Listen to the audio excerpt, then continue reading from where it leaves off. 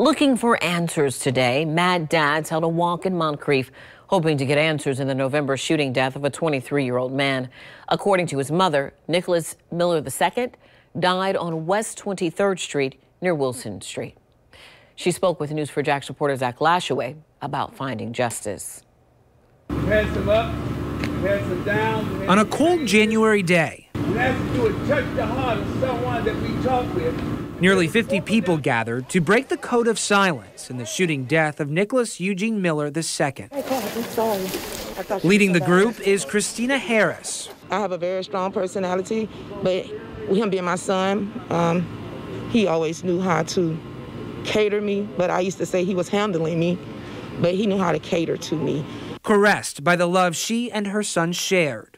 Um, he was my oldest child. He was had just turned 23, actually um, a month prior, a few weeks prior to his murder.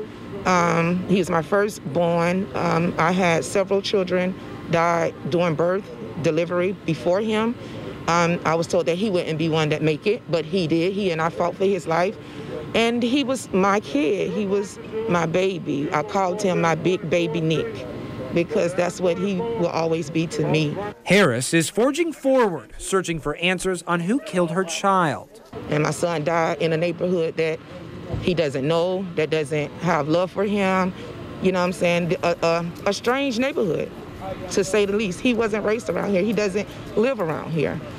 Um, so yeah, he was murdered around here on the cold pavement. My son died, took his last breath with the pastor at this church holding his hands. Harris says her son was an upstanding young man. He played football for Pop Warner. He played football for Highlands Middle School. He played football for Lee. Like, he volunteered. He was in the youth ministry. What was this holiday season like without him? Horrible. I am a family social bug when it comes to holidays. I didn't have holidays this year. Thanksgiving was not Thanksgiving.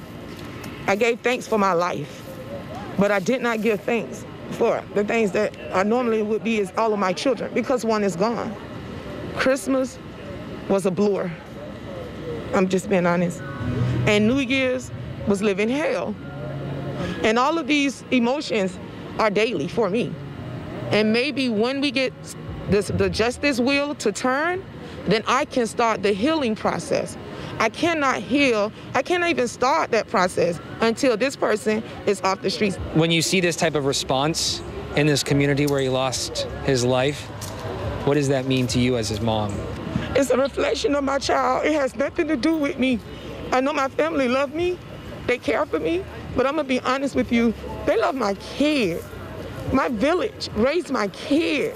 I shared my kid with all of these people and all of the people that were not able to make it here, but they are here in love and spirit. Nicholas was a special kid, and the turnout speaks for that. Harris's hope is to someday be united with her son. Hopefully, I can get to see my child again. I, I you know what I mean? One day, in heaven. In Jacksonville, Zach Lashaway, Channel 4, the local station.